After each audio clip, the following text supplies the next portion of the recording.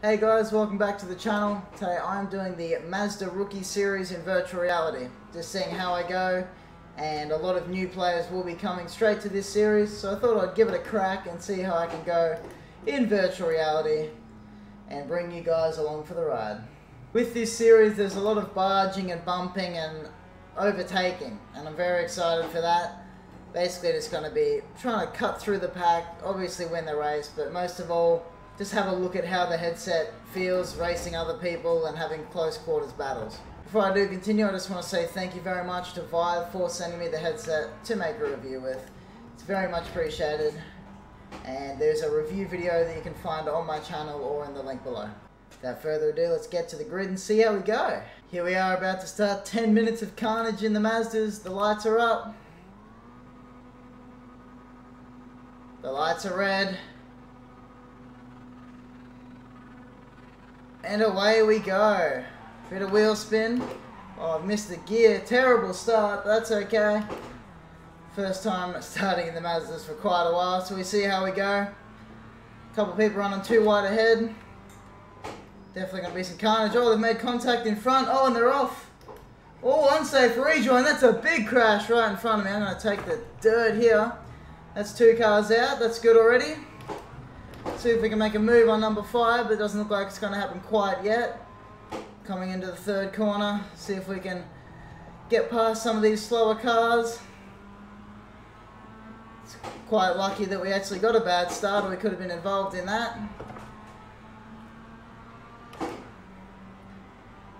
See if we can get some slipstream, holding the outside line.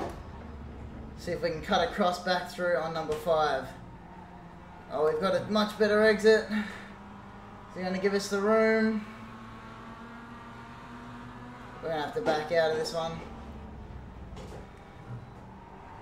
Whoa, and he's gone off. Don't come back onto me. He's made a bit of contact, but he's off.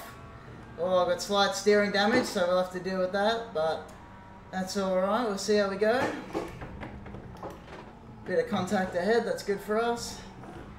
See if we can get a good run out of here.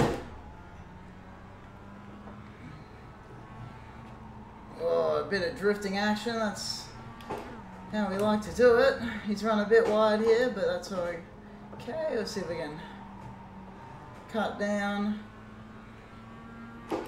Here we are at the end of the first lap. Slight steering damage, but we'll try and push through.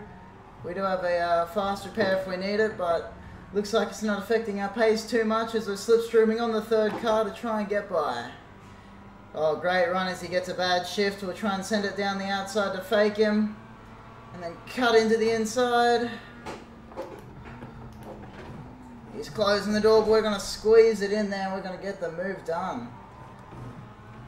Just cut his nose off a bit and got number 10 ahead. Oh, he's come back in front of me. Oh, we've run a little bit wide, but that's okay. Oh, a bit of slidey action up ahead. See if we can get a better run on this 10. Seems to be a bit slower and less confident than the rest. Bit of sliding, but that's alright. See if we can cut back to the inside. Rubbing up on the Mazda. Oh, he's all over the shop. We've been hit. He's been hit. We're doing okay. Number three giving us a bit of a tap up the bum, but that's okay. In my severely steering damaged Mazda. Tries to rejoin when there's no room, but he's got the position for now. Gonna try and slipstream and get by this guy because he's holding me up a little bit.